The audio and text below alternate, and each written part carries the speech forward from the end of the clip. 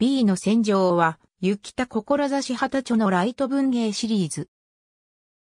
2016年度集英社ノベル大賞を受賞した、雪田のデビュー作で、集英社オレンジ文庫より2016年12月から2019年1月にかけて全6巻が刊行された。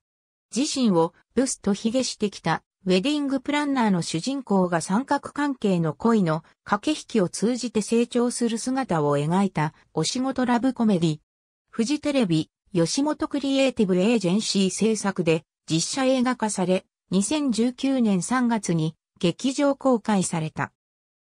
B の戦場埼玉新都心ブライダル化の工房 B の戦場に埼玉新都心ブライダル化の規約 B の戦場3埼玉新都心ブライダル化の花壇 B の戦場4埼玉新都心ブライダル化の慈愛 B の戦場5埼玉新都心ブライダル化の変革 B の戦場6埼玉新都心ブライダル化の角で埼玉新都心にあるシティホテルのブライダル化に勤務するブスとヒゲスウェディングプランナーの主人公が一度限りの結婚式に思いを託す一風変わった。利用客との接客と三角関係に発展した職場恋愛を通じ成長する姿を描いた職業ものラブコメディ。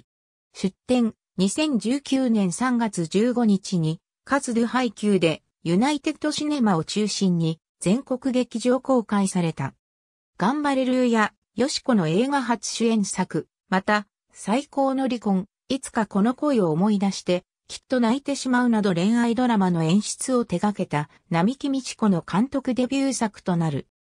原作の舞台が埼玉新都心のホテルのブライダル化であることから、チャペル、ロビー、ブライズルーム、披露宴会場などの撮影は埼玉新都心のホテルブリランテ武蔵野を利用して行われ、結婚式場やロビーの場面はホテルブリランテ武蔵野の名札を着用しロケ撮影が行われた。